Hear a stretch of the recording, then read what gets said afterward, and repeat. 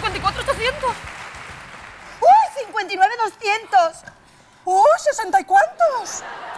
¡Uh! ¡Qué vértigo!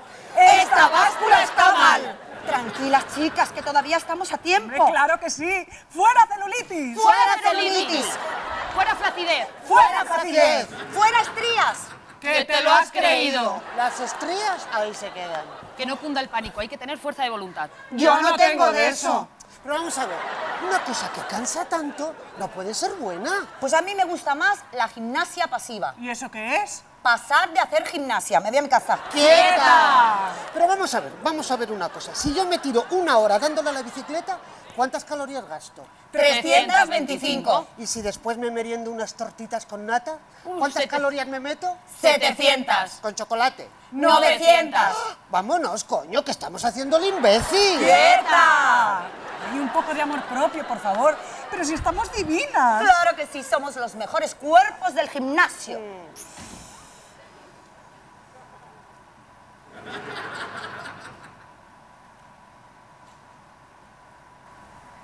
Seguro que es tonta. ¡Qué horror! Anoréxica perdida. ¿Seguro? Que está operada. Es que se te cae todo, se te cae el pecho, se te cae el culo, se te cae la papada. ¿Qué es lo único que lo hace subir? El quirófano. Para la que tenga dinero, Pero claro. bueno, ¿qué pasa? Si tener 5 kilos de más tampoco es tan grave. No, pues si lo grave es, ¿dónde se te meten? Ay, la culpa lo tenemos medio de comunicación. ¿Por qué estaremos tan obsesionadas con la línea? Yo no estoy obsesionada. ¿Que no? ¿Hay algo mejor que ser guapa? Estar delgada. ¿Hay algo mejor que ser joven? Estar delgada. ¿Hay algo mejor que ser millonaria? Estar delgada. ¿Hay algo mejor que ser feliz? Estar delgada. ¿Hay algo más importante que estar delgada? No, tener celulitis. Claro, luego abres una revista y hay un anuncio con la foto de un culito veinteañero redondo, prieto, respingón y abajo en letras grandes. Si tienes celulitis es porque quieres. La madre que les parió. ¿Sabes lo que pasa? El culito prieto de la foto seguro que no se pasa 10 horas como yo sentada en la oficina. Ni ha tenido cinco hijos como yo. Ni tuvo almorranas después del último parto como yo. Lo único que me convence de que estoy hecha de lo mismo que Naomi Campbell son los juanetes. Consolaros pensando en la vida tan sacrificada y en lo infelices que deben ser esas pobres chicas. Me da igual. Yo quiero ser igual de infeliz que ellas. ¿Y sabéis por qué andan así por la pasarela? Para enseñarnos los vestidos. No, para restregarnos sus cuerpazos. ¿Y sabéis por qué están todas solteras? Porque estar casada engorda.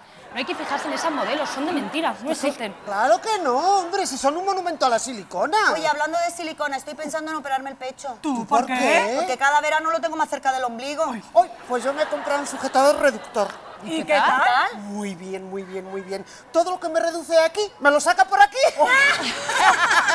Pero vamos a ver, ¿por qué nos preocupamos tanto por nuestros físicos si no hay más que ver a nuestros maridos?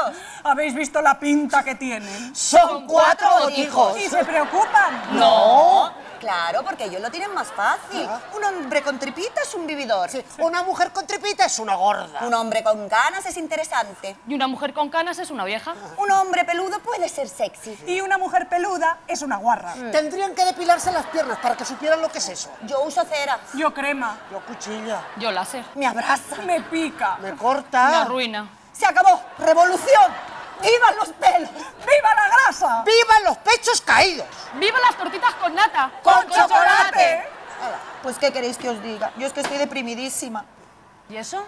Estoy cogiendo un asco a mi marido. Oye, es que no sé cómo lo harán, pero cuantos más años cumplen, más pelos les salen. ¿eh? En todas partes menos en la cabeza. Son sucios. Y celosos. Y vagos. ¿Y en la cama qué? ¡Calla! Hay que ver cómo roncan. Me refiero al sexo. Yo fijo los orgasmos. Anda, yo. Orgasmos, ¿qué es eso? Lo que tiene tu marido al minuto y medio de empezar la faena. Ay, Si la culpa la tenemos nosotras, ¿para qué nos casamos?